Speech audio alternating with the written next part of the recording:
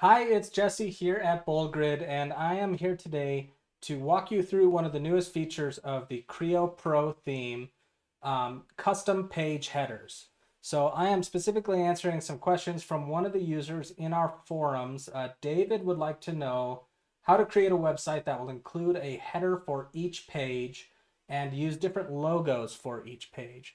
So I'm going to go ahead and walk you through that. I am here in a fresh WordPress installation where I use BoldGrid inspirations to install the Crio Pro theme. And the first step when you're doing your headers is to configure your global options. Uh, what I mean by global is that these are the, the defaults for every page on your site. Um, now, after we set our defaults, then we can start creating our custom ones.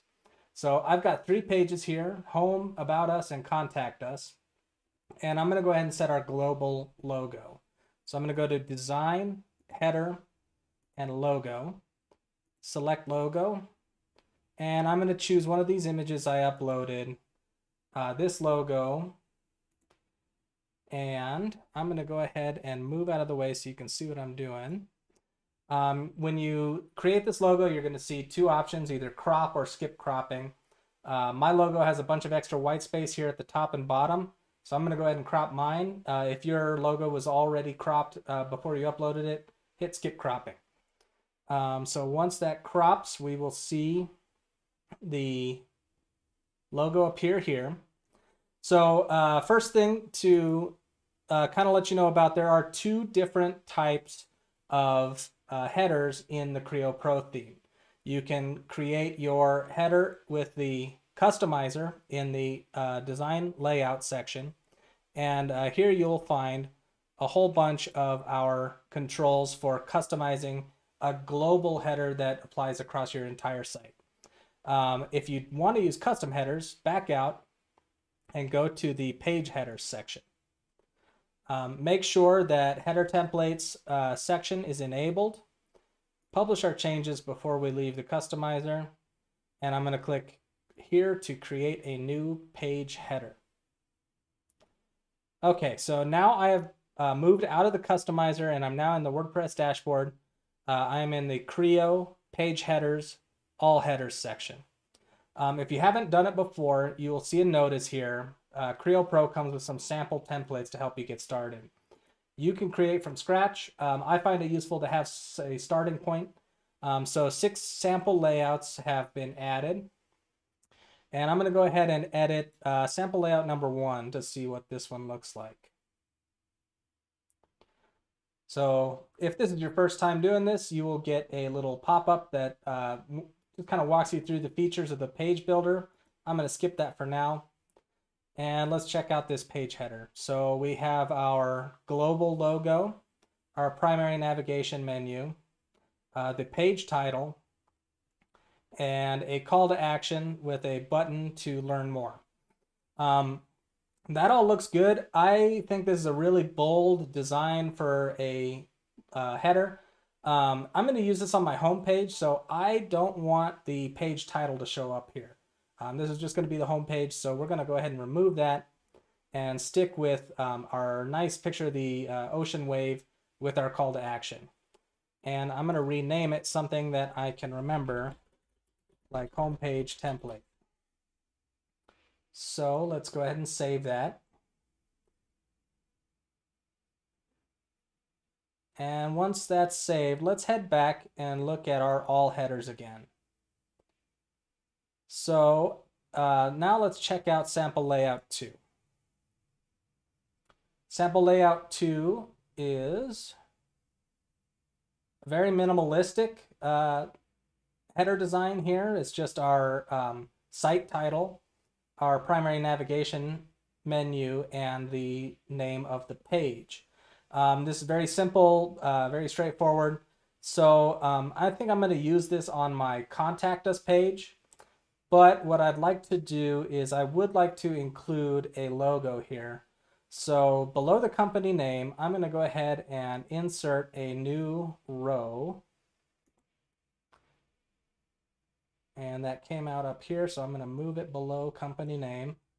And in this new row, I'm going to go ahead and hit Add Block Component.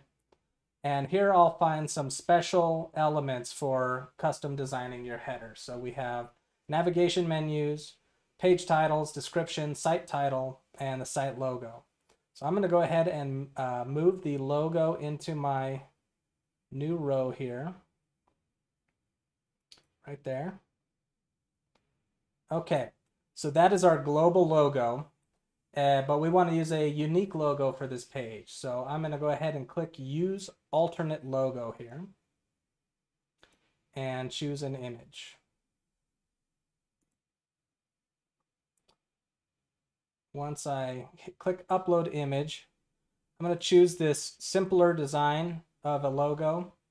Um, no text on this one because we're keeping this one simple. We're going to keep it centered. And let's go ahead and resize this guy so that it is a little bit smaller. And go ahead and save that.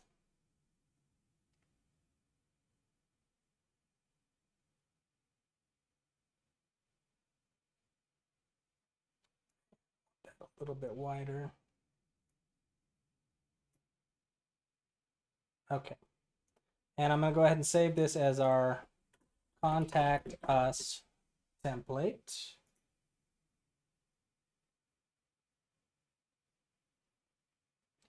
And once we're done with that, we're going to do one more, go back to all headers. So Crio page headers, all headers, sample layout three.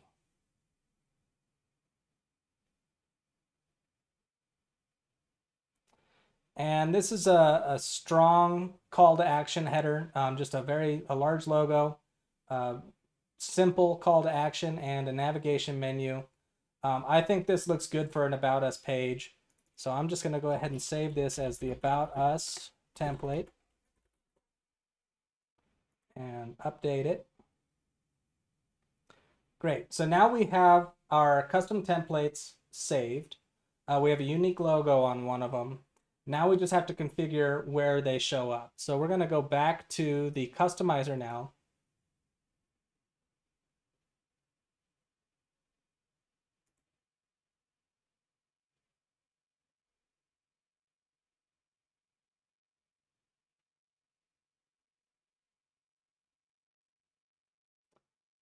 And in the customizer, we're going to go back to design, header, page headers. So now that we have some templates saved, there's new settings visible here. Um, so these are for using the default uh, header design that came with the theme when it says use customizer settings. That's what it's talking about. Um, so I'm going to go ahead and say for my home page, I would like to use the home page template that we saved earlier. And then we have another setting for all of our pages. So I'm going to go to a different page. And on this one, for all of our pages other than home page, I'm going to use the About Us template. Here's our About Us template. Go back home. Here's our home page template. So those are our two options here. You can also set it for your individual blog posts, the blog roll, uh, 404 search and archives. Um, these are the important ones right now. So uh, I'm going to go ahead and publish those changes. Now we want to use a third custom header on the About Us page, or excuse me, on the Contact Us page. So I'm going to go to the Contact Us page and I'm going to actually edit the page content. So I'm going to go there from clicking the pencil in the customizer. You can also access this from pages, all pages, and then edit the page. Now over here on the right, on every individual page, you'll see a new box appear for the page header. Um, so there are two options. Use global setting, which we just set up as the About Us template, or use one just for this post. So for this post, I want to use the contact us template. And I'm going to go ahead and save that change.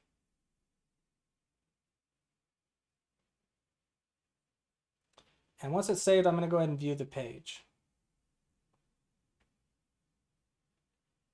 So here is that uh, simple header that we set up with the strong, simple image.